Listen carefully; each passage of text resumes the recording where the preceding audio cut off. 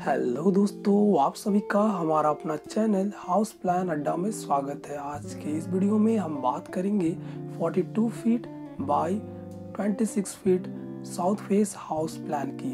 दोस्तों दक्षिण मुखी मकान के बारे में आज हम डिटेल में जानेंगे।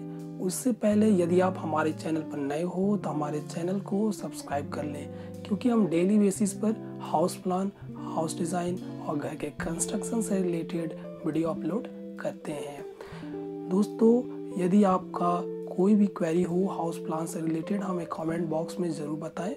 उसे हम वीडियो के माध्यम से आप तक पहुँचाने का प्रयत्न करेंगे। और यदि अधिक जानकारी चाहिए, किसी भी हाउस प्लान से रिलेटेड तो हमने डिस्क्रिप्शन में लिंक दे दिया है। वहाँ से आप जाकर अधिक जानकारी प्राप्त कर सकते हैं और house plan free of cost download भी कर सकते हैं बिना किसी चार्ज के।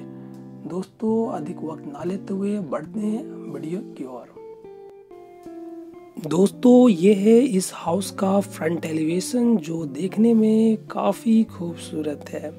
अब हम इस हाउस का टू प्लान के बारे में बात करते हैं। दोस्तों, ये है इस हाउस का टू प्लान जो 42 फीट बाय 26 फीट में डिज़ाइन किया गया है। हम हर एक एरिए को मेज़रमेंट के साथ देखेंगे। उससे पहले हम आउटर दीवार के बारे में देख लेते हैं। जितने भी आउटर दीवारें हैं, सारे टेन इंच के हैं और अंदर की दीवारें जो हैं, सारी फाइव इंच के हैं। हम सबसे पहले गेट से इंटर करते ही हमें मिलता है पार्किंग एरिया, जिसका मेज़रमेंट है 11 feet by 15 feet parking area से पहले हमें एक गली टाइप रास्ता मिल जाता है, जिससे हम सीढ़ी की तरफ़ स्टेयर केस की तरफ़ आराम से जा सकते हैं। आप देख सकते हो स्टेयर केस जिसका मेज़रमेंट है ten feet by six feet three inch इसमें हम आसानी से जा सकते हैं।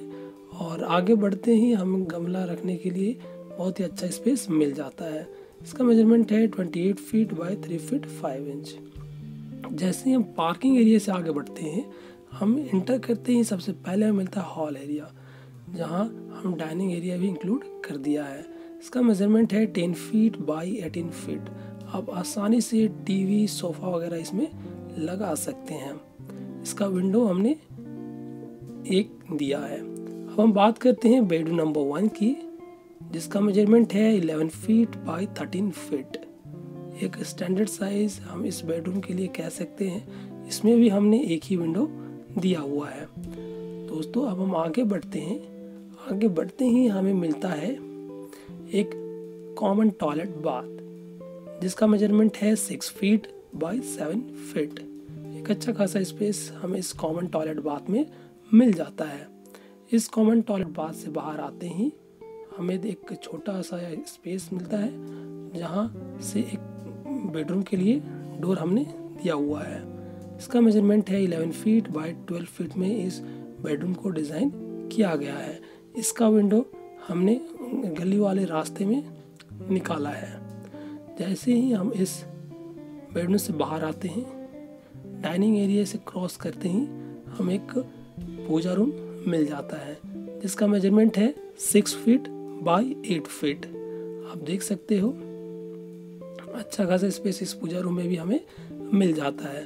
पूजा रूम के जस्ट बगल में हमें मिलता है किचन जिसका मेज़रमेंट है 11 फीट बाई 8 फीट अच्छा खासा स्पेस इस किचन में मिलता है।